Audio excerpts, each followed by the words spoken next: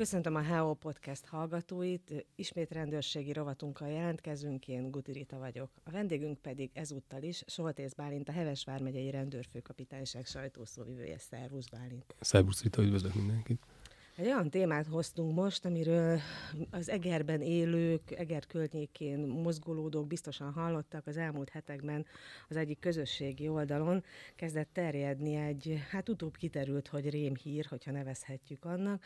A történet arról szólt, hogy valaki kiírta erre a közösségi oldalra, hogy tini lányokat erőszakoltak meg, azt hiszem így volt kírva bestiális módon Egerben, és ráadásul hozzátette, hogy a sajtó erről hallgat. Hát mi is nagyon meglepődtünk, mert nagyon jól tudunk hallgatni olyasmiről, amiről nem hallottunk. A rendőrségnek volt erről információja, Bálint? Így van, még mielőtt a részletekbe belemenni, nyilván amiről nincs információtok, olyan, ami nem is történt, meg nyilván nem lehet információ, tehát ez így elég uh, róka fogta csuka uh, igyekszünk, történet. Igyekszünk De hát, ugye, hogy bevezetőben is mondtad, ez egy álhír volt. Ugye valóban munkatársaimmal mi is a, a közösségi oldalon tényleg futótűzként terjedni kezdő hírrel találkoztunk az esettel, ugye, hogy valóban hogy bestiális módon megerőszakolt a két lány tegerben, valóban ugye így terjedt el. Természetesen munkatársaim erre azonnal reagálva megkezdték gyakorlatilag ugye már visszafelé felgöngyölíteni ezt a feltételezett esetet. Nem lehetett könnyű dolgotok, mert ahogy ott láttam a kommenteket, ott diákok, szülők, iskolák között ez már eléggé elterjedt, hogy egy régebbi történetet próbáltak beállítani, hogy ez már hetekkel ezelőtt történt szerintük. Így van. Maga az eset, amit valamilyen nagyon-nagyon félreértettek, és nagyon rémhírként kezdett elterjedni. A alaptörténete az lehet ennek a, ennek a rémhírnek, hogy még november elején egy szórakozó helyről elvittek egy rosszul lett lányt a mentőszolgálat munkatársai orvosi ellátásra ott természetesen még fel sem merült semmilyen olyan arra utaló jel, hogy jogsértés bűncselekményt követtek el volna sérelmére. Egyszerűen rosszul lett. Egyszerűen rosszul lett, és hangsúlyoznám, hogy még az sem merült fel a helyszínen, tehát rendőrintézkedésre sem volt akkor szükség, hogy esetleg kábítószer hatása miatt lett volna rosszul és gyakorlatilag itt volt a történetnek a vége, tehát bevitték uh, orvosi ellátásra. Itt láthatták, valószínűleg tinik, és tőlük indulhatott ez a... Így van, hiszen egy uh, felkapott szórakozó hely közelében történt, valószínűleg ebből indult el a plegyka is. Szögezzük akkor. le, hogy nem a szórakozó helyen, hanem annak közelében. Így van, egy közterületi helyről vitték el ezt a fiatal uh, tizenéves lányt, és gyakorlatilag itt van igazándiból a történetnek a vége, az igazság a tényekre alapulva, azonban ugye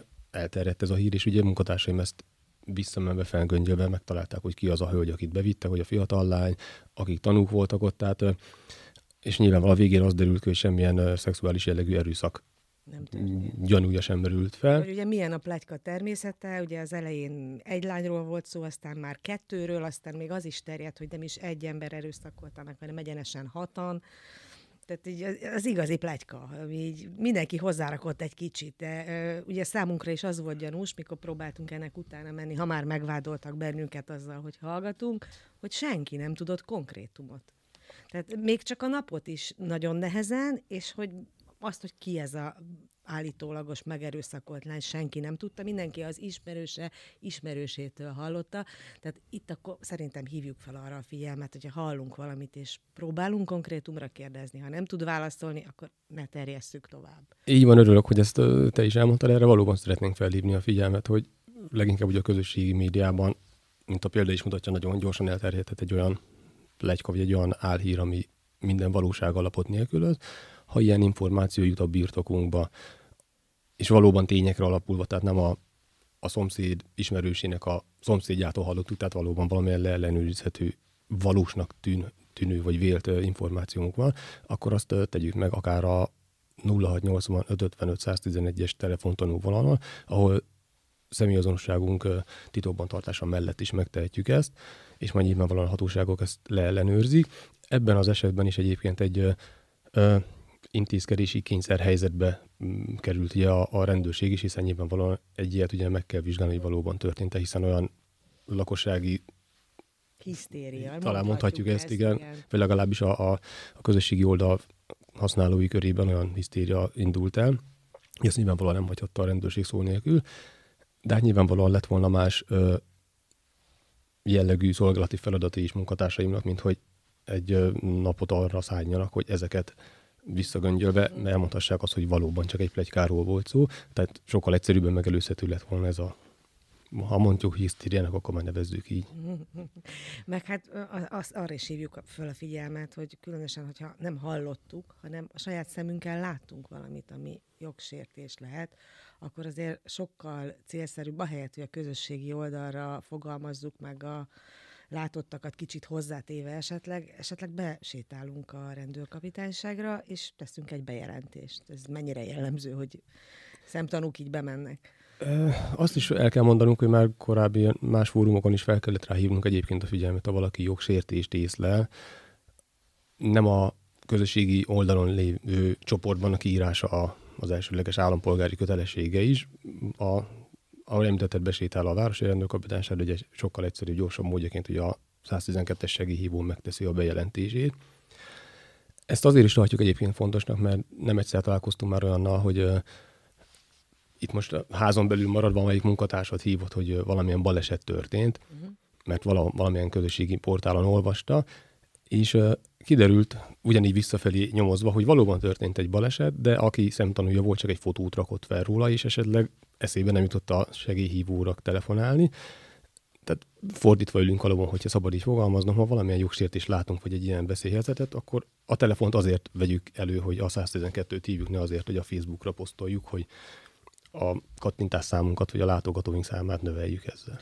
Mondjuk ez azért elképzelhetőnek tartom, hogy azok az emberek, akik ezt elkezdték terjeszteni, valamennyire jó szándékkal tették, hiszen gondolom, hogy egy félelem mozgatja ezt, ahogy ez már nem az első ilyen, majd akkor ne nevezzük rémérnek, nevezzük álhírnek. Igen. Volt már korábban, azt szerintem elég emlékezetes, amikor azt terjedt. A, a fekete terepjárók, igen, az azok gyakorlatilag visszatérő elemek, hiszen már évekkel ezelőtt, meg már még korábban is terjedtek, akkor még nem közösségi médiában, hanem más felületeken, olyan szinten, hogy az ország több pontjában is, tehát néha előkerül, és, és megy egy darabig, nyilván minden alapot nélkülözve az is. Nyilvánvalóan érthető, hogy gyerekes szülőként az ilyeneket ismerősei körében jobban fel akarja ráhívni a figyelmet. Persze az aggódás mozgat. Nyilván, tehát emberileg ez a része érthető, de mint említettem, próbáljuk mindig jobban visszaellenőrizni, hogy ez valóban megtörténhetette. Nem egyből a most benneteket megvéve nem egyből a sajtó támadva, hogy a sajtó hallgat róla.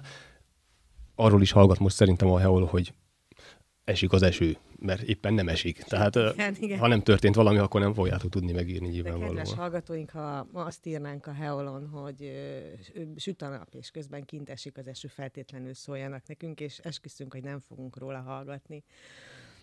Köszönjük szépen, Bálint, hogy eljöttél hozzánk, és így a végén még egyszer foglaljuk akkor össze, hogy milyen tanácsokat adhatunk azoknak, akik hasonló esetről értesülnek. Mi az, amit vizsgáljanak meg először, mielőtt bármit tesznek. Ugye nagyon fontos, hogy leellenőrzött információkat kezdjünk el terjeszteni, illetve hogyha valóban jogsértést észlelünk, akkor talán ez a legfontosabb, hogy ne a közösségi média felületen tegyük ezt első körben közé, hanem tegyük meg állampolgári kötelezettségünknek is eleget téve a segélyhívó telefonszámon a bejelentésünket. Mert nem vagyunk ezzel tisztában, hogy állampolgári kötelesség bejelentést tenni, a jogsértést észlelünk, ugye? E, igen, nyilván, hogyha egy balesetet látunk, vagy egy olyat látunk, hogy valakit éppen nagy Isten kirabolnak az utcán, és mi ennek szemtanúja vagyunk, hát nyilvánvalóan szerintem mindenkinek érthető, hogyha akár csak órákkal később értesül róla egy, egy nyílt csoportból a, a rendőrség is, már milyen lépés hátrányban van, mint hogyha azonnal venni a telefont is, és érkezne a segélyhívó kérés. Soltész Bálint, köszönjük szépen! Én köszönöm, hogy itt lehettem.